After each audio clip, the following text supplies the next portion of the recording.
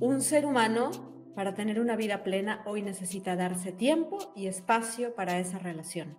Y esa, esa relación la puedes cultivar de muchas maneras, no hay un solo camino para hacerlo, pero sí es muy necesario hacerlo porque solo en ese espacio tú vas a poder realmente sentir las señales de tu cuerpo, realmente salvaguardarte, realmente discernir, realmente tener espíritu crítico, realmente ver que sí y que no.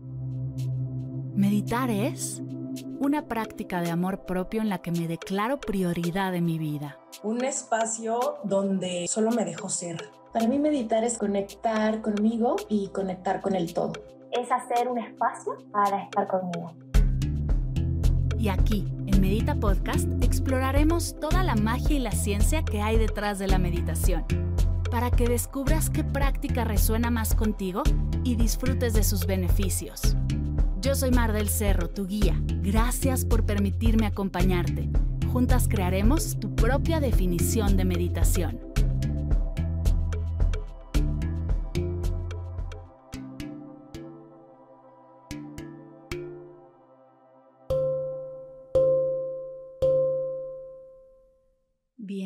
Bienvenidas, bienvenidos y bienvenidas a Medita Podcast. Qué ilusión estar aquí porque al fin vamos a hablar de un tema que llevaba buscando un largo tiempo y no lograba encontrar con quién. Y en cuanto vi el perfil de Mukia Shanti dije, ella es la indicada. Primero que nada, ¿así se pronuncia tu nombre, Mukia Shanti?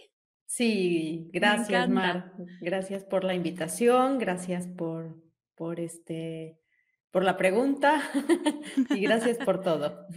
Me encanta que estemos aquí a hablar de una de las prácticas, de las, ya nos dirás si tradición, si técnicas, si de dónde viene, qué es, pero que se escuchan más y no se sabe tanto. Creo que se, se, escucha más de lo que se sabe y el día de hoy queremos aprenderlo todo.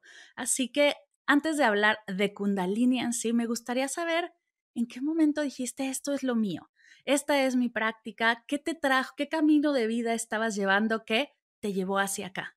Oh, eh, gracias. Em, mira, yo empecé a practicar yoga siendo muy jovencita, porque mi mamá practicaba hatha yoga y en algún punto, teniendo yo unos 14, 15 años, empecé a ir con ella al lugar donde ella iba, ¿no?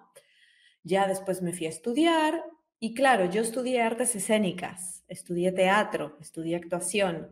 Entonces, siempre, y, ah, y previo a eso, eh, bailaba, hacía danza, ¿no? Entonces, siempre estuve desde, desde pequeña muy involucrada en, em, en prácticas o en caminos o en disciplinas que me, me, obligaban de cierta forma a estar muy en contacto conmigo, con mi cuerpo, con mis emociones y con mi mente. Eh, me han gustado las artes también desde que soy una niña y siempre he escrito y he practicado algún tipo de disciplina. Entonces ya después me fui a estudiar, seguí practicando yoga. Em, luego me fui a vivir a México. seguí practicando yoga. Encontré un maestro muy bueno de hatha yoga. Ahí ya entré a otro nivel de profundidad, ¿no? Practicaba todos los días, incluso él me puso a cubrirle algunas clases, ya era como, ¿no? Em, y después, en algún punto de todo esto, teniendo yo cerca de unos 30 años, más o menos, tuve un accidente en coche. Em, me lastimé mucho las cervicales y al cabo de un tiempo me enteré que tenía una hernia de disco en las cervicales y tuve que dejar mi práctica de hatha yoga. ¿Ok? Y ahí empezó en mi vida todo otro tipo de exploración, mucho más energética, más sutil de todo este tipo de caminos. Fue un... te, te puede parecer curioso, pero el duelo de haber tenido que dejar mi práctica de yoga fue uno de los más fuertes que yo he vivido al día de hoy. Fue muy fuerte para mí, entonces yo anhelaba encontrar otra práctica que me permitiera seguir profundizando, pero que no mm, afectara el aspecto físico. Claro, que no fuera a dañarte. Exacto. Y en todo ese tiempo, que entre que dejé Hatha y encontré Kundalini, fueron varios años muy interesantes de mucha exploración. Me volví facilitadora de Reiki, em, estudié shiatsu, yo seguía bailando, seguía haciendo danza teatro, seguía haciendo teatro normal. Eh, estudié un montón de cosas, entré a una sangat de meditación sasen, este, hice muchas cosas, muchas exploraciones muy interesantes. Fui a la India, estudié cosas y em, en algún punto mi maestra de Reiki, que también era una bruja, guía, acompañante, terapeuta, eh, que tuve muy cerquita esos años, me dijo en una sesión privada que tuvimos, tal vez estaría bueno que tú practicaras kundalini yoga. Y yo dije, ok, bueno. Mm. yo ya había tomado una, había tenido algún contacto con Kundalini Yoga en algún, en algún, en el retiro que fui a hacer a la India, nos habían puesto un video de Guru Singh, que es un yogi muy ya grande, que fue alumno de Yogi Bayan, pero nada, no, no, no había entrado como a mi espacio todavía. Pero cuando Marta me lo dijo, como era una persona de confianza para mí, sí se quedó la semillita en un lugar, ¿no? Y entonces, como al año, año y medio, no, no recuerdo exactamente, porque todo fue hace ya bastante tiempo, abrieron un centro de yoga en mi colonia. Yo vivía en ese entonces en la del Valle Norte. Y abrieron un centro de yoga y en el cartel donde decían, anunciaban que lo iban a abrir, ponían Kundalini Yoga. Dije, oh, ok, y cuando lo abrieron, empecé a ir y bueno, aquí sigo, no sé cuántos, más de una década después. Em, me fascinó la práctica MAR, me fascinó porque reúne todo lo que yo buscaba. Em, yo soy una persona bastante integral en ese sentido. Busco en una práctica una disciplina física fuerte, porque a mí me gusta, me motiva, me hace sentir bien el esfuerzo físico, comprometerme con una actividad física intensa me gusta, pero al mismo tiempo eh, me encanta explorar los laberintos de mi propia mente y de la mente humana, y, ¿no? Y al mismo tiempo, si la práctica que estoy realizando no tiene el aspecto devocional muy presente, no me gusta. Y durante los... Qué interesante. Sí, durante, las, durante los años que yo practiqué Hatha, eh, siempre me quedaba con maestros que eran muy bhakti, que estaban muy comprometidos con el aspecto eh, devocional y muy, muy comprometido todo su estilo de vida, su práctica, mm, sí, devocional, tal cual. Porque si yo no tenía eso hasta en una clase, mira que fui a, un a gimnasios, a clases de yoga, pero es que eso ya tiene que ver con la persona en sí misma que imparte la clase, ¿no? No el contexto tanto. Si eso no está presente, si no está presente el espacio de conexión profunda con uno mismo, la meditación y todo, a mí era como que era, mm, ah, bueno, no sé, eso es como ir al gimnasio. Claro. Y Kundalini Yoga tuvo todo para mí. ¿No? Tuvo todo. Y mm, bueno, pues eso, aquí sigo. Uf, qué poderoso. Sí. Oye, y dando un pasito para atrás, hablamos de Kundalini Yoga, pero me gustaría primero que todos estemos de acuerdo en qué es Kundalini. Mira, te voy a decir algo que a veces les digo a las personas que toman clases conmigo. Hay una gran tendencia en todo este mundo espiritual de querer hacer las cosas muy complicadas y rebuscadas y místico-mágicas multicolores, porque eso resulta que vende. ¿Ok? Kundalini es la energía de tu propia conciencia, de nuestra propia conciencia. ¿Ok? Decimos que es una energía potencial porque resulta que la mayoría de los seres humanos andamos, por lo menos una parte de nuestra vida, ahí como el borras, como se dice en México. a tontas, a ciegas y a locas, ¿no? Uno va viviendo y medio ahí, ¡pum! Pero todos los seres humanos tenemos un potencial de conciencia. ¿Ok?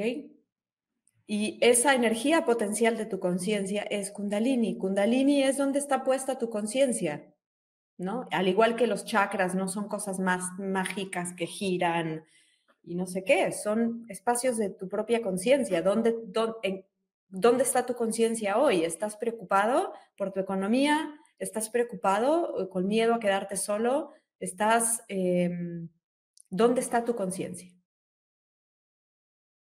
¿Y cómo se une esto al yoga? ¿En qué momento se vuelve Kundalini Yoga? Em, Kundalini Yoga es una mezcla muy particular creada por Yogi Bayan. Él es un, fue un maestro que llegó a Occidente en el año 68 y se estableció en Estados Unidos en el 69. Y él empezó, él venía de Hatha Yoga y de otra tradición espiritual y empezó a enseñar a, sus primeros estudiantes una práctica integral, ¿ok? Donde estaban todos estos aspectos, ¿no? Lo físico, la comprensión de la propia mente y sobre todo no solamente la comprensión, es cómo establecer una relación con tu propia mente, porque ya sabemos que la mente tiene el potencial de ser mi mejor amiga o mi peor enemiga. Y lo que va a hacer la diferencia es la relación que yo establezca con mi propia mente, ¿no? Eso es lo que va a marcar toda la diferencia. Entonces, Kundalini Yoga se trata exactamente, o exactamente, no sé si exactamente, pero se trata fundamentalmente de hacerte consciente de tu propia conciencia. Uf, qué poderoso.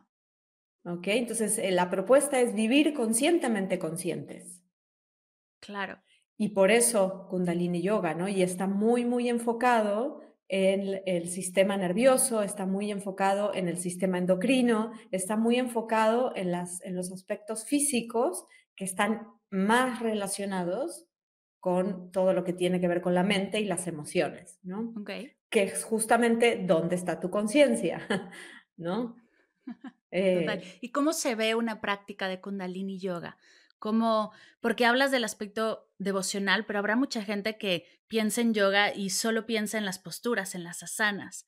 ¿Cómo se ve una práctica integral de esto? Eh, esto es algo bien bonito en Kundalini Yoga, porque tú puedes ir a una clase en China o en Arabia Saudita y va a ser muy parecida a la que encuentres conmigo virtual tenemos nuestra, la escuela de Kundalini Yoga es internacional y somos todos certificados eh, bajo la misma, como en los mismos lineamientos.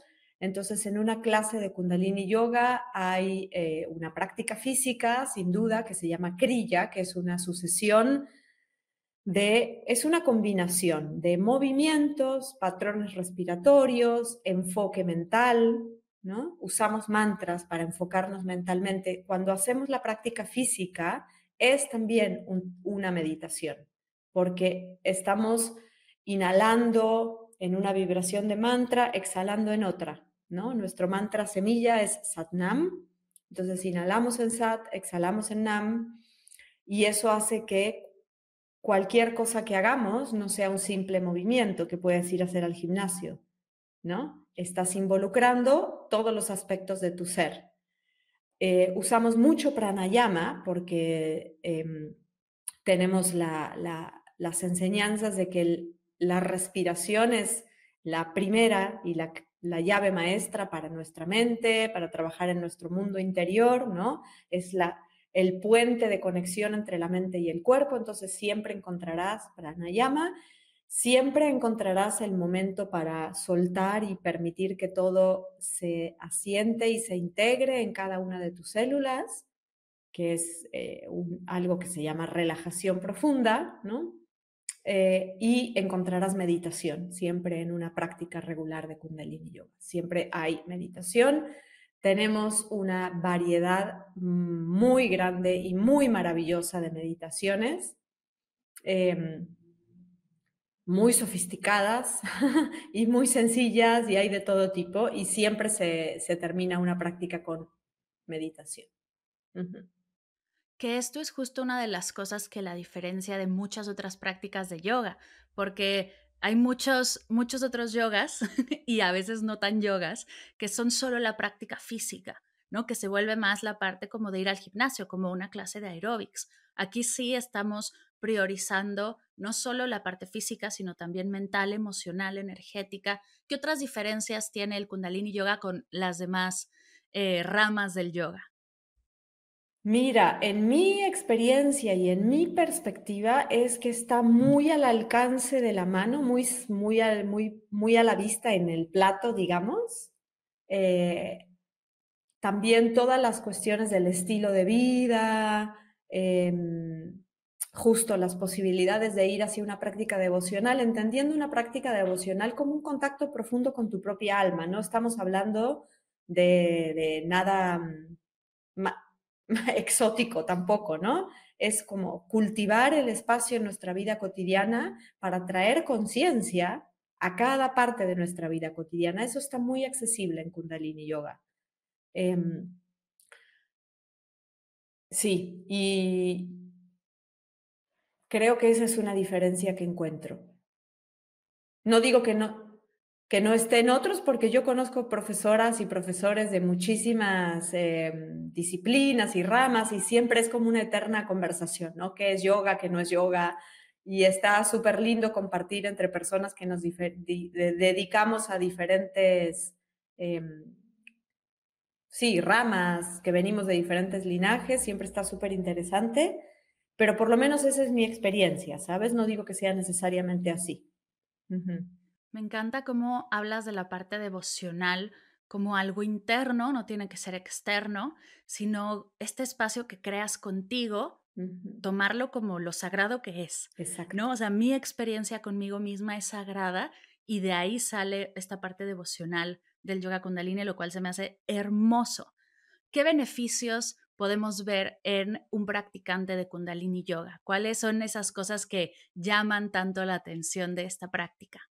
Mira, lo que, lo que yo voy viendo que ocurre en los años que tengo dando clases es que una de las primeras cosas que pasa es que las, es como si las personas abrieran puertas adentro de sí mismas a habitaciones que ni siquiera sabían que existían, ¿no? Eh, eso es de las primeras cosas, es como un wow, wow, ¿no? Eh, yo he tenido como, eh, ¿cómo se dice? Cuando te dicen los estudiantes que les pasan sus cosas, eh, testimonios? Testimonios, exacto, todo esto. Que, que, te dicen, es que yo pensaba que no podía esto, o yo pensaba que no era así, o yo creía que eso no era para mí, o yo pensaba que esto era imposible, ¿no? En muchos aspectos, desde quedarme quieta, Em, saber con mi cuerpo cuál era el lado derecho y el izquierdo, no sé, un montón de cosas. Es como, como que hackea tus creencias sobre ti mismo. Wow, y a través del cuerpo, de la mente y de las emociones. Es poderosísimo. Exacto. Oye, y hay un montón de mitos o realidades acerca de los riesgos del Kundalini Yoga, digamos, mal llevado. Y me mm. gustaría que hablemos de esto también porque de repente se escucha como no lo vayas a hacer porque se te despierta el kundalini y se lleva al máximo y como cositas así que me ha tocado o hay pueden surgir problemas mentales, ¿no? Hay como en todas las prácticas hay mitos y hay no estas estas como historias de el tío del tío del tío le pasó. Eh, ¿Cuáles son los riesgos de practicar kundalini? Ninguno. No, que yo conozca. Ahora, claro, vamos a poner las cosas en contexto eh, realista, ¿ok? Si tú llegas a mi clase y tú y yo tenemos una entrevista antes de que empieces tus clases, yo te voy a hacer una serie de preguntas para cuidarte, ¿ok? Quedará en ti si tú me dices o no la verdad. Ah, por supuesto. Yo una de las cosas que te voy a preguntar, por ejemplo, es qué uso haces de cierto tipo de sustancias que tienen un impacto en la psique. Legales o ilegales, da igual. ¿Ok? Si tú no me dices la verdad y entras a una clase bajo los efectos de un medicamento psiquiátrico sin haber consultado con tu psiquiatra, sobre esta práctica o em, fumaste marihuana y estás haciendo tu clase, bueno, luego no puedes venir a decir que Kundalini Yoga es peligroso, porque tú estás haciendo una serie de mezclas que pueden cruzar los cables, por decirlo de alguna manera, ¿no? Em, también hay personas que la libertad interior la consideran peligrosa. ¡Wow! ¡Qué bonito! ¿Cómo, me gustaría saber más de esto? ¿Qué te ha tocado ver alrededor de, de alguien que ve este despertar o esta, este sentir y lo considera peligroso o, raro? ¿Qué ha pasado? No, no sé si, me, si, si he tenido oportunidad como de verlo directamente en mis propios contextos de aprendizaje o enseñanza, pero bueno, sí sé que hay personas que están muy alineadas con cierto tipo de pensamiento y que entonces ven, ven peligroso cualquier cosa que mm, se, eh, lo ponga en duda, ¿no? Este, y, puede considerar riesgoso, peligroso que las personas empiecen a ejercer una autonomía, ¿no? Porque el camino del yogi es, no importa de qué rama del yoga estemos hablando ahora, el camino yógico es un camino de, la libertad interior, de la autonomía como ser humano, del de autosostenerte y autosustentarte, ¿no? Donde yo soy conscientemente consciente, yo no necesito que venga un nadie a decirme lo que tengo que hacer, yo soy plenamente consciente de lo que tengo que hacer.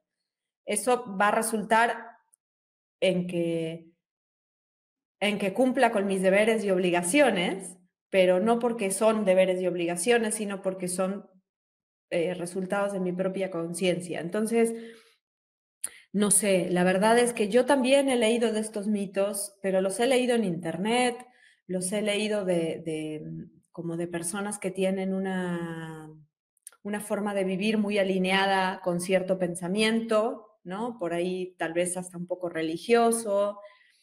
Eh, así que no, no sé, yo no, no le veo riesgos a la práctica en sí misma de Kundalini Yoga. Creo que todo potencialmente es liberador o riesgoso, pero también puedes, no sé, hacer terapia psicológica y que no te...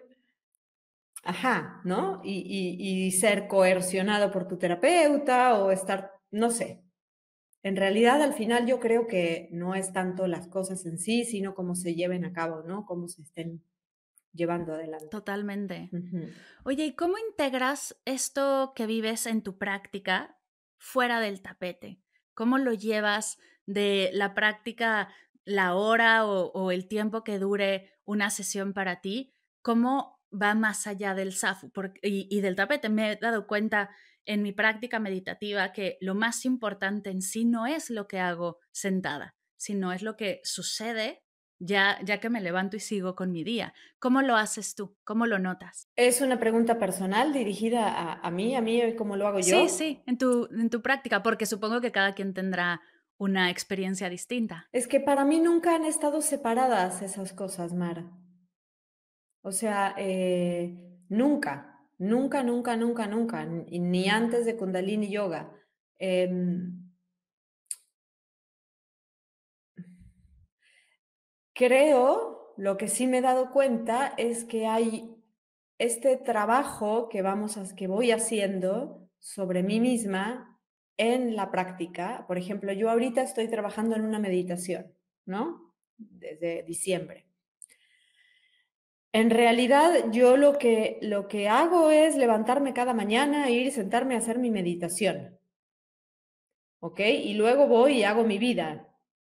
Em, lo, que sucede, lo que me doy cuenta es que la, la práctica va habilitando otros espacios justo de conciencia, ¿no?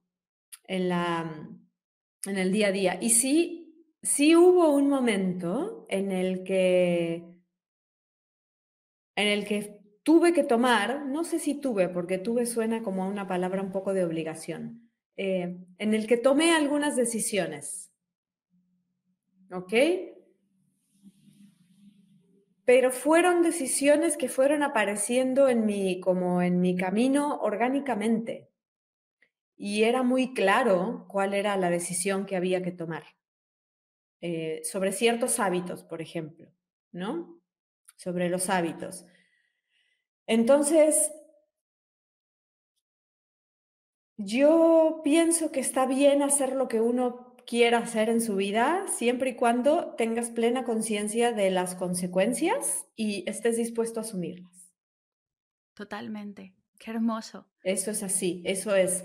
Yo puedo decirte, mira, yo el 80%, a mí no me gustan las cosas muy rígidas ni muy así de siempre y soy intachable y no, es, es mucho, ¿no? El 70-80% del tiempo yo hago estas cosas. Y cuando decido no hacerlas, lo estoy eligiendo en plena conciencia porque me trae otros beneficios y yo sé que, por ejemplo, yo bailo, a mí me gusta bailar tango. Y estas cosas suelen suceder un poco más tarde en la noche de lo que a mí me gusta dormirme la mayor parte de los días. ¿Ok? Entonces yo voy a elegir cuándo me voy a ir a bailar tango una noche que no tengo un teacher training al día siguiente. Claro. ¿No? Obviamente. Eh, y yo sé que al día siguiente no, no voy a estar en el, en el uso pleno y completo de todo mi ser como un día que me acuesto a la hora que me gusta acostarme. ¿Ok? Pero yo ya sé cuáles son las consecuencias y estoy dispuesta a asumirlas. ¿Ok? Y es, es como eso, creo que es esa la conciencia en realidad. La conciencia para mí no se trata de, de, mm, de ser de una pieza, ¿no? De ser de una pieza. Somos seres humanos muy complejos, cada quien tiene una vida muy, muy compleja, muy variada, llena de, de vínculos y de obligaciones y de cosas pero el asunto es cómo estamos viviendo cada uno de esos espacios, con qué tipo de conciencia, ¿no? Estoy asumiendo. Para mí eso es lo más importante, afuera de la práctica. Oye, y hablando de rigidez, porque es algo con lo que también me he topado al entrevistar a muchas personas especialistas en distintas técnicas y tradiciones. El kundalini yoga es algo tradicional que se sigue paso a paso como se creó desde los años 60, 70 o es algo que ha evolucionado como maestro puede el maestro puede hacer algunos cambios, ajustes. ¿Cómo es? Porque, por ejemplo, el Zen sí es muy estricto y es muy como paso a paso y, y no hay manera de moverlo pero no sé el kundalini cómo fluye de esta manera. Mira, la práctica en sí misma, la estructura de una práctica o de una clase, la mayoría de las y los instructores estamos de acuerdo en que no se mueven y así nos enseñan y, eso es lo que, no voy a decir todos porque no es cierto, em, pero hay personas que han decidido hacer sus variaciones y sus variedades, solamente que bueno, entonces estas personas hoy en día no estarían enseñando kundalini yoga como lo enseñó Yogi Bayan. ¿Ok? Quienes practicamos y enseñamos Kundalini Yoga como lo enseñó Yogi Bayan, sí respetamos las enseñanzas, eh, esas enseñanzas al menos como fueron dadas. Después hay todo otro cúmulo de enseñanzas que se, se van, aunque se respeta la pureza de esas enseñanzas, uno tiene que ir eh, contextualizándolas, ¿no? Porque, bueno, porque cada contexto es diferente, porque la sociedad evoluciona, el pensamiento evoluciona, las necesidades de las personas cambian, ¿no? Pero la práctica en sí misma sí, se respeta, los crillas se enseñan como fueron dados, las meditaciones se enseñan como fueron dadas, no las modificamos. Y yo soy muy devota de eso porque es, es maravillosa la tecnología. Yo, mm, o sea, ¿para qué le tengo que andar moviendo? ¿No? Justo me gusta que sacaste también ese tema, la tecnología del kundalini, porque cuando en el cuestionario que te mandé previo a esta sesión pusiste su tecnología para transformar la mente y la conciencia. ¿De qué hablas cuando hablas de la tecnología del kundalini yoga? Hablo de que son herramientas muy precisas y con una aplicación, una, o sea, Kundalini Yoga te dice, esto es lo que vas a transformar y esta es la forma en que lo vas a transformar. Ok. ¿Ok? Ya. Entonces, es así de claro. Es así de claro. Es como el manual de usuario de la mente humana. ¡Guau! ¿Ok? Entonces, claro, y tú lo debes haber experimentado o lo debes experimentar, Mar, porque a ello te dedicas. La mente tiene muchos trucos e intrigas, ¿no? Entonces, si tú, si tú quieres acceder a la mente a través de la misma mente, ¿no? Es como, esto, esta es una imagen que se usa mucho en Kundalini Yoga y a mí me gusta mucho. Es como poner una vela en, en medio de una sala eh, cuadradita que tiene espejos por los cuatro lados. Solo se replica a sí misma hasta el infinito. ¿No? Entonces, ¿cómo, ¿cómo accedes ahí? Necesitas una palanca, necesitas una tecnología, ¿no? Que es el pranayama, que es cierta frecuencia, eh, cierta combinación de pranayama con movimiento, es tal mantra. Entonces tú tienes que aplicar esa herramienta, tú tienes que hacer uso de esa tecnología que va a hacer el trabajo, digamos, ¿no? Entonces tú no te concentras en tu mente, tú te concentras en la herramienta que usas y esa es la tecnología, ¿ok? Y es muy poderosamente fina, precisa y, y, y, transformadora. Entonces sí, ¿para qué yo me voy a poner a... A, a, no, a o inventar. Sea, exacto, a inventar. Mi, mi, mi, atención o mi energía creativa está puesta en atender a los estudiantes, en ver a cada persona en sí misma, ver qué está necesitando, ver cómo puedo entregar estas, estas herramientas, esta tecnología y estas enseñanzas para que sean relevantes el día de hoy, para que estén accesibles. Eso es mi, mi, trabajo, no cambiar lo que sucede en una clase, porque lo que sucede en una clase es maravilloso. Ya, me encanta. Uh -huh. Para alguien que quiere arrancar y quiere ir a su primera clase, acercarse a tu contenido, tu membresía, todos lo, los cursos, las sesiones que das, ¿qué tiene que saber el estudiante por primera vez, el que se va a afrontar a esta, a toda esta energía y a todo lo que va a vivir? Mm, no sé. ¿Cómo prepararse? No, en realidad, mira, es, es muy sencillo. O sea, cuando alguien se acerca a un espacio de clases, eh, depende, ¿no? O sea, es, es, diferente. Si cuando vienen a mi espacio de clases, eh, como es virtual además, te diría que Ajá. en realidad solo necesitan dos cosas, ser un ser humano, Ajá. adulto, eso sí, adulto, eh, y tener okay. un dispositivo que tenga conexión a Internet. Y ya. Eso es todo lo que alguien necesita para practicar. Eh, todo lo demás es proceso, ¿sabes? No hay nada que saber previo, no hay cuestiones en Kundalini Yoga, no hay cuestiones de niveles, ¿no? Entonces pueden estar en una misma clase una persona que tiene 10 años practicando y otra que acaba de empezar. Eh, wow, qué bonito. En tu proceso personal, como primero fue como practicante y después como maestra, como guía, veo algo que me causa mucha curiosidad, que seguro te lo han preguntado un montón, y es que la mayoría de los profesores de Kundalini están todos vestidos de blanco, tienen como estos, este tipo como de, mm, sobre todo los que son más, no sé si la palabra es tradicional, eh, el, el, turbante que tienes, ¿qué, ¿qué sucede? El cambio de nombre, ¿qué significa eso? ¿Qué sucede ahí? Bueno, yo te voy a contar mi proceso personal con eso. Claro. eh, Los años que yo practiqué Hatha Yoga de manera muy entregada y disciplinada con Pedro, que así se llama el que fue mi maestro, hasta el accidente,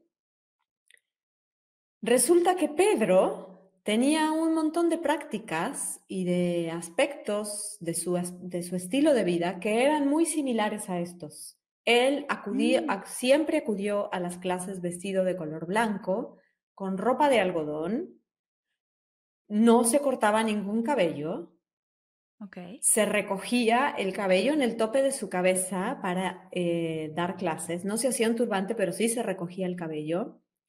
Yo saliendo, eh, yo iba con él en un gimnasio, pero después fui a su estudio varias veces a hacer prácticas más largas y nos enseñaba, ah, no, mentira, dentro del mismo gimnasio, como era de estos gimnasios, viste, que tienen de todo, Ajá. nos enseñó a hacer los, el tipo de duchas frías que también hacemos en Kundalini Yoga, ¿ok?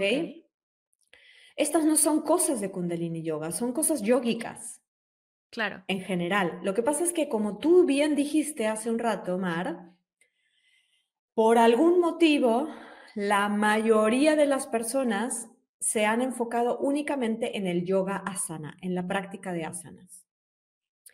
Y esto tampoco es tan así, porque si tú empiezas a conocer a otros instructores de otros estilos de yoga, te vas a dar cuenta que la mayoría, para poder sostener ese espacio, necesitas hacer cambios en tu estilo de vida, necesitas modificar Claro. cosas, ¿no? Totalmente. En general, la mayoría de nosotros tenemos un estilo de vida que es más o menos coherente, Sí, esperemos. ¿no? Porque el yoga es también un camino filosófico, ¿no? Es un camino de valores muy claros. Hay unos valores muy, muy claros y que no son de Kundalini Yoga, vienen de hace cientos y miles de años, ¿no? Eh, y que son bastante comunes a cualquier camino espiritual o cualquier camino de, ¿no? Eh, Sí, sí. Exacto. Es como que viene con el combo. Entonces, digamos que yo llegué a Kundalini Yoga con esto ya bastante incorporado, ¿no? Para mí era como lo más, era lo, lo más natural. Yo ya, yo empecé a ser vegetariana hace muchísimos años, mucho antes del yoga. Yo empecé a ser vegetariana por es una cuestión personal y de, de, mm, como de empatía con, con la vivencia de otros seres vivos. Te estoy hablando de cuando tenía 20 años, hace muchísimos, un montón de años. Y después empecé a practicar Kundalini Yoga y los veía a todos con turbante. Yo creo que por mi formación como artista escénico soy una persona, mm, te diría que casi no soy prejuiciosa. Entonces yo veo a gente haciendo cosas raras y yo digo, ah, pues tendrá su motivo para hacerlo y ya me enteraré cuál es. Pero no soy una persona llena de prejuicios ni que me no, me parece natural que somos billones de personas en el mundo con muchas culturas y que hay de todo. Entonces yo los veía con sus turbantes y decía, bueno, algún motivo habrá, ¿no? Para que y un día en una clase yo sentí tanta acumulación y tanta vibración de energía en mi cabeza que ese día dije, ah, acabo de entender por qué están usando un turbante. Entonces, cuando terminé esa clase, le pedí a la profesora que la estaba impartiendo si me podía enseñar a hacerme un turbante. Y esto fue como un año y medio antes de que yo hiciera mi formación como instructora. Así que cuando yo llegué a la formación como instructora, yo me vestía de blanco, de algodón y con turbante por un proceso personal orgánico de que fui entendiendo que esto es, es una tecnología también. Mm, claro. Ahora, así como está mi experiencia, yo conozco gente que llegó a su enseñanza y le dijeron, tienes que vestirte así, tienes que ponerte esto. Y entonces, como, pues lo hicieron, ¿no? Y, Claro. de- pero vino desde un lugar dogmático y se realizó desde un lugar también dogmático o rígido. Entonces, esto en algún momento se quiebra, es obvio Ya. porque, porque si no es parte de una comprensión, ¿no? Yo hoy en día, durante mucho tiempo, usé el turbante todo el tiempo y fue durante los años donde estuve haciendo como un cambio muy fuerte en mi ser. Lo agradezco muchísimo haberme dado la oportunidad de hacer todo esto, pero hoy en día uso el turbante para enseñar, Ya. eh, uso el turbante cuando voy a tener alguna reunión o representación, no sé, acabo de tener una reunión con mi mentora, que es un espacio un poquito más formal, y entonces vengo contigo a hablar a- con- así, pero también podría no estar con el turbante y a mí no me causa ningún tipo de conflicto Ok. interno. Sigo eligiendo vestirme de blanco porque sí noto una diferencia en mi ser cuando todo mi campo visual más inmediato es como me, me proporciona una paz, una estabilidad, una serenidad, que todo sea blanco así en mi propio campo áurico y en mi campo visual, ¿no? Ok. Em, pero a nadie le digo cuando viene a mi clase, ah, para mira que para tomar clase tienes que vestirte de blanco, ¿eh? Ya, totalmente. Algunos estudiantes empiezan a hacerlo porque tienen un proceso que dicen, ah, mira, sí, se siente, se siente padre, quiero hacerlo yo también.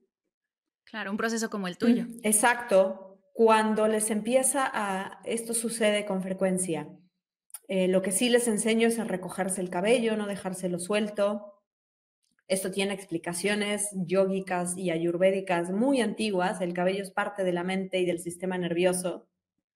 Entonces, si tú lo dejas suelto al aire, ajá, ¿no? Repercute. Entonces, sí, amárratelo.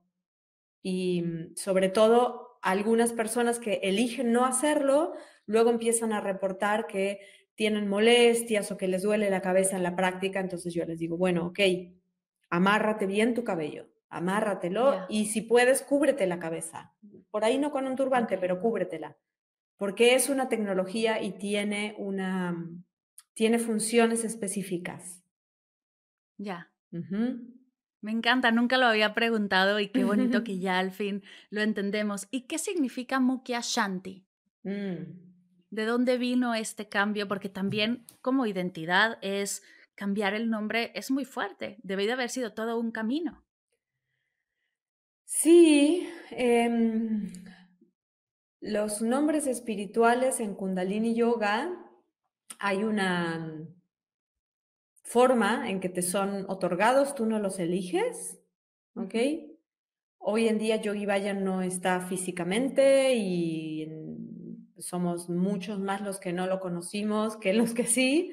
Entonces yo tengo entendido, sí, yo sé que cuando él, cuando era a los inicios, él les daba los, los nombres espirituales a sus estudiantes, tiene que ver, en Kundalini Yoga tenemos toda, también otros aspectos de la tecnología que tienen que ver con la numerología, que es más o menos como, como si fuera una carta astral muy compleja, ¿sabes? Muy completa y muy compleja, que te indica por dónde más o menos están tus, tus caminos de vida. No es nada predictivo ni nada, sino que al igual que una carta astral bien entendida, te dice cómo cuáles son tus puntos más débiles, los que por ahí tienes que atender y fortalecer, ¿no? Y cuáles son tus, tus potenciales para, para, para realmente cumplir tu Dharma en esta vida. ¿Ok? Entonces, con base en eso, se elige, se te otorgan el, el nombre espiritual. Entonces, el nombre espiritual es un, es un recordatorio de tu propio Dharma. Digamos que como yo lo entiendo y como yo lo vivo, mi Dharma es ser Mukyashanti. Yo sigo usando mi nombre legal, mi nombre es Marina, lo uso mm, igual. Algunas personas me dicen Mukyashanti y otras personas me dicen Marina.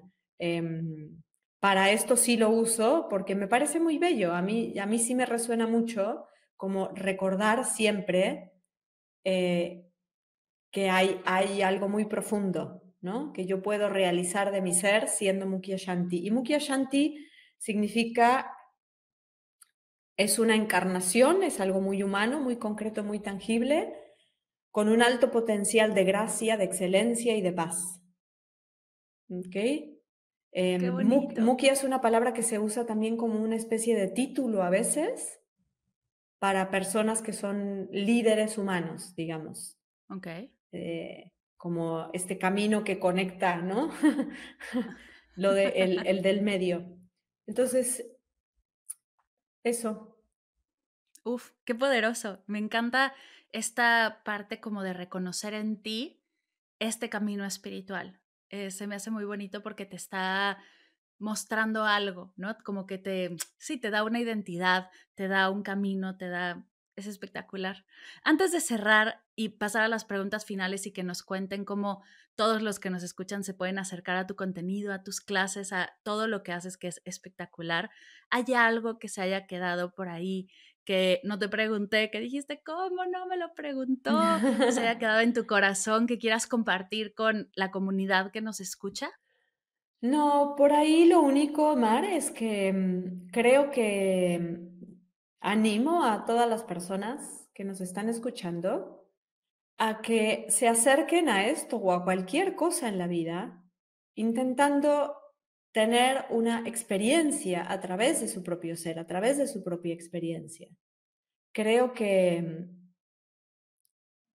estamos en una época de, de la historia que es a la vez muy afortunada, muy bendecida en muchísimos sentidos, ¿no? A pesar de todos los problemas que enfrentamos, tenemos una perspectiva de vida muy longeva, muchas soluciones para nuestra salud, las mujeres gozamos de una cantidad de, libertad que nunca en la historia ¿no? había sucedido, aunque falte todo lo que falte, no importa, pero es la mejor época sin duda por lo menos en Occidente, que ha existido nunca para ser mujer.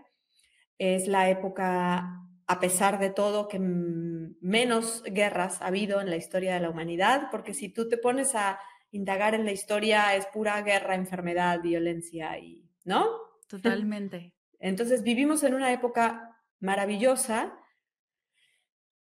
con todo accesible, lo cual representa también un arma de doble filo. Em, y creo que podemos saturarnos de información y confundirnos mucho.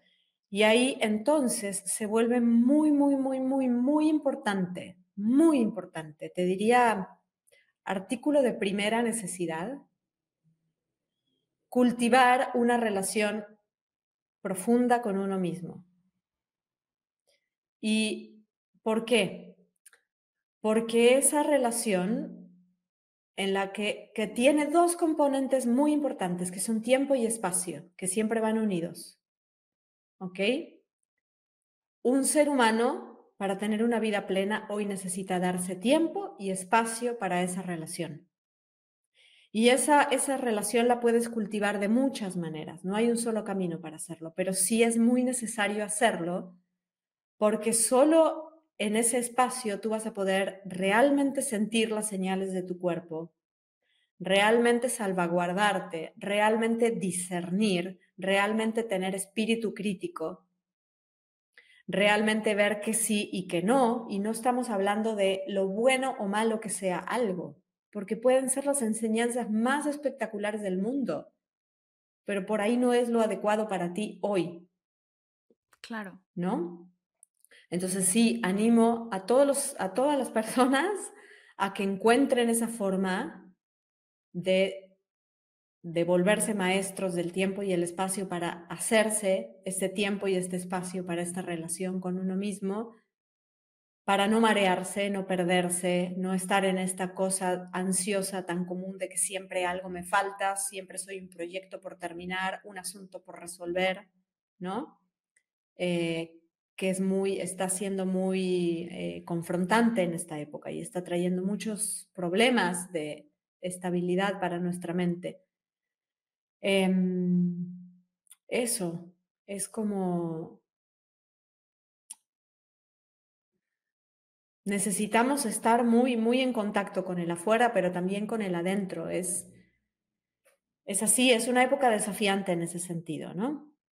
Es una época. Entonces, eso es como lo único que querría decir. Y también que en mi propia experiencia, em, justo y, parte de lo mismo es como, en algún momento, en yo exploré muchas cosas, pero hubo otro momento en el que fue muy claro, ah, aquí, ¿no? Y no es que si entonces haces kundalini o sasen o lo que sea que hagas, te estás perdiendo de otras cosas. Todos los caminos te van a llevar al mismo lugar. Depende cómo los camines.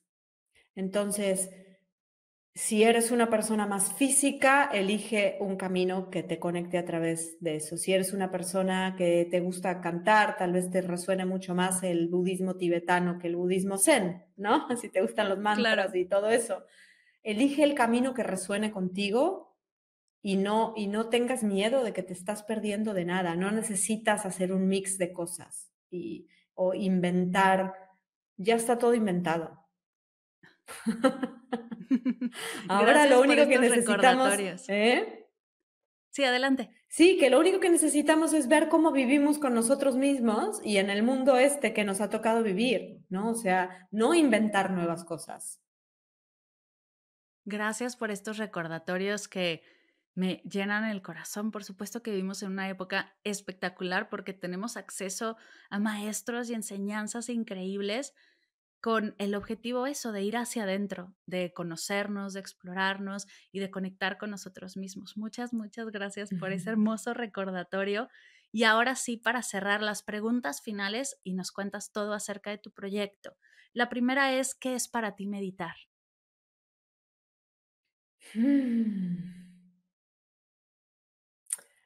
Ay, eh, tantas cosas. meditar es, mm, para mí meditar es establecer una relación consciente con mi propia mente y sus procesos. Eso es meditar para mí. Si pudieras dejarlo en tres regalos que te ha dado la meditación, ¿cuáles serían? Yo sé que son más. Sí, son más y son difíciles de poner en como en, en palabras a veces, pero em, un regalo es un lugar muy claro dentro de mí al que siempre es llegar, al que siempre volver, cada día. Em, una, una, noción de, de, de eso, de de espacio seguro, o sea, como que mi espacio seguro está dentro de mí misma y yo sé que cuento incondicionalmente conmigo misma. ¿No? Ese es un Qué regalo. Bonito. Eh ¿Y cuál es tu meditación favorita? Ay, perdón, adelante. Ah, ese es un regalo. Eh, el otro, otro regalo es una, una comprensión de todo lo que me rodea mucho más compasiva cada vez, mucho más abierta, aunque es un proceso eso, por supuesto, pero es eso, es una, es una comprensión cada vez más amplia de... Eh, no sé, seguro lo experimentas tú también, pero cuando tú empiezas a escarbar abajo de, atrás de las piedras y ves las cosas que salen de adentro de ti, dices, oh, bueno, entonces ya puede ser un poquito más. Eh, y la otra, Mar, que es muy importante para mí, muy, muy importante, es una, eh, una experiencia de algo que yo llamo Dios. Cada quien tendrá una palabra para eso, si es que la tiene, adentro de mí. Qué hermoso. ¿Y cuál es tu meditación favorita? La que estoy haciendo en este momento. Me encanta. Te agradezco de parte de toda la comunidad por compartir todo esto. A nosotros nos encanta recibir y sobre todo de personas tan espectaculares tan apasionadas por su trabajo, pero también sabemos que no solo es recibir, sino también es dar. ¿De qué manera podemos darte nosotros algo de valor sumando a todo lo que nos acabas de regalar? Algo que estés trabajando, algo que conecte contigo, algo que digas, esta sería una manera de recibir para mí. Oh, wow, no me esperaba esta pregunta. No, no sé si la entiendo del todo. Wow. Tú nos acabas de regalar un montón de sabiduría, Ajá. de momentos de claridad, de cómo como comunidad podemos devolverte, ¿no? Un poco de esa de todo eso que nos has regalado, si es intentar una clase, si es explorar una práctica, si es algo en redes sociales, yo qué sé, lo que más conecte contigo. Puede ser, sí, gracias, Mar, qué bonito esto. Nunca me lo habían, eh, me lo habían preguntado, qué lindo, está muy bello. Eh, sí, acérquense a mis redes sociales, Mukia Yoga, o a mi sitio, mukiayoga.com. Escríbanme, siempre estamos. Eh, a mí me encanta leer, ¿no? Me encanta leer las, las experiencias de otras personas. El correo es info.mukiayoga.com, pero una forma de, mm, podría ser regalarme un comentario en, de alguna forma en, en Instagram, que es la, la, red social que más utilizo. Eh, y si tienen ganas de probar esta tecnología, de ver cómo funciona para ustedes en su propia vida, en eh, la membresía Mukia Yoga abrimos una reinscripción de mediados de año, que es como... Ajá, en junio, en sabía, junio, por ahí. En junio, Bien. en junio. Entonces, lo que pueden hacer es ir a mukiayoga.com, suscribirse al boletín, entonces ahí es como más rápido se van a enterar, porque ahí hay una comunidad bastante nutrida y bastante activa. Yo escribo, envío una carta a toda esta comunidad cada domingo. Eh, y siempre son los primeros que se enteran y los que tienen okay. preferencia de todo. Uf, yo voy a dejar los links de tu página, del boletín, de las redes sociales en las notas de la sesión para que puedan ir directamente ahí y mostrarte ese agradecimiento por tu espacio, por tu tiempo, por tu energía. Además de esta membresía, además de este boletín, tienes clases, tienes sesiones uno a uno, tienes talleres. Cuéntanos un poquito más para que puedan ir directo y conectar contigo. Sí, ahora estoy en un proceso muy interesante de transformación porque después de varios años de trabajar eh, y de hacer, hice un curso de meditación muy bello, eh, hice un curso enfocado de, eh, de, herramientas de yoga enfocadas al trabajo con el estrés, hice un, eh, un, curso de básico y otro de algunos tópicos específicos de Ayurveda y todo esto, pero el mes pasado cerré la venta de todos estos cursos. Estoy, sí. Wow. Esos cursos ya no están porque estoy en un momento de, de transición bastante interesante. Eh, ok. Porque estoy con la necesidad de... Eh, ya tengo un grupo de clases que llevan algunas personas varios años practicando. Y mira, esto es algo bien hermoso. Los mismos estudiantes son los que te van empujando a ir más arriba claro. o más lejos o así, ¿no? Ya están pidiendo otras cosas, están pidiendo otra profundidad, están pidiendo otras conversaciones. Entonces, hacia allá vamos. Eh, en septiembre, esto es primicia porque no sabíamos todavía la fecha, ahora ya la sabemos, se va a abrir el primer instructorado de Kundalini Yoga organizado por Mukia Yoga. ¿Ok? Yo wow, estoy en un proceso, yo tengo una mentora y estoy en un proceso en el cual yo estoy formándome para yo ser formadora de instructores en algún futuro. Esto es un proceso de muchos años Ahora estoy en la primera etapa de ese proceso. Entonces se abrirá por primera vez un, eh, un, este, un instructorado que mi compañía organiza. Entonces estoy en todo ese proceso, atendiendo todo eso, eh, que está increíble. Eh, entonces, por ahora, por ahora, la manera de venir a tomar clases conmigo es en la membresía, ¿ok? De ahí se van abriendo otras, otras este, eh, pautas.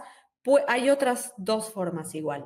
Eh, tengo accesibles siempre unas llamadas de apoyo espiritual, le llamo yo. Son llamadas de 20 minutos en las cuales yo te conozco, tú, tú, tú me dejas una cierta información, yo te conozco y veo dentro de las cosas con las que yo cuento, con las herramientas que cuento, cuáles te pueden beneficiar a ti. Es como mucho más personalizado y entonces accedes a las herramientas que ya no están disponibles como para el público en general, accedes de esa manera. Este, eso está bueno y e, es, me gusta mucho porque, porque para mí no se trata de ven al curso, te vendo el curso, sino te quiero ofrecer algo que realmente te vaya a funcionar o, o, o sea lo que, lo que necesitas realmente, ¿no? Me encanta esta idea, está espectacular. Sí, entonces esa es otra forma y también tengo sesiones uno a uno que las encuentran disponibles en mi página también. Eh, son, es un espacio de acompañamiento con este marco. Kundalini Yoga, Ayurveda, ¿no? No es una terapia, no es eso, obviamente, es con este marco. Pero sí acompaño a personas en su proceso de cambio de hábitos, de profundización de su práctica, ¿no? De poner orden en algunas cositas. Llevo años buscando una manera de hacer lo que de los cursos y los talleres que hago, hacerlos más personalizables, porque sí siento que a veces caemos en el vender por vender y, no me gusta nada y sobre todo en este tipo de prácticas. Y me acabas de dar así una, un momento de claridad espectacular, así que muchas gracias. Inténtalo porque es bien bonito, Mar, porque entonces cuando las personas llegan a tu comunidad y ya te están pagando por uno de tus servicios, tú ya sabes quién está del otro lado y eso está hermoso. Claro.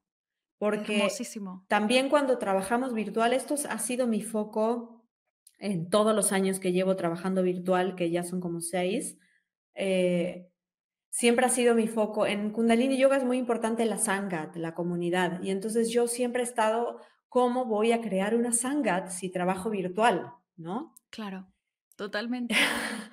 y, ahí, ahí estoy, ahí estoy siempre muy, muy enfocada en eso. Entonces, em, que no se vuelva algo frío, ¿no? Que, cómo, cómo seguimos en contacto, cómo te sigo apoyando, cómo sigo nutriendo y sobre todo cuando vienes, em, bueno, sí está perfecto que me compres, claro que quiero que me compres porque tengo un negocio, pero no cualquier cosa, sino algo que de verdad te sirva. Y, y también puede pasar que lo que tú necesitas no te lo pueda dar yo y te mande con otra persona. Exacto, justo, totalmente. Porque no podemos ser todólogas, ¿no? Porque hay, hay un límite a lo que hacemos y, y, qué padre tener esta comunidad de, de profesionales que pueden expandir lo que ofrecemos. así que inténtalo eso de las llamadas, sí está bueno.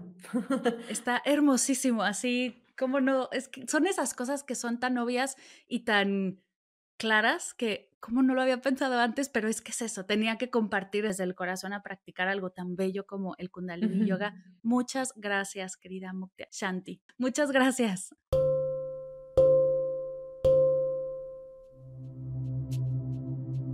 Gracias, gracias, gracias por escuchar. ¿Cómo te sientes ahora en comparación con el inicio del episodio?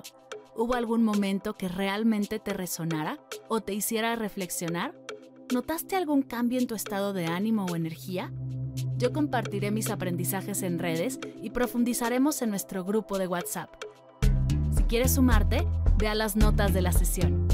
Gracias por escuchar Medita Podcast. Para cursos, conferencias, talleres, descargar tu diario de gratitud y conectar más allá del podcast, nos vemos en mardelcerro.com.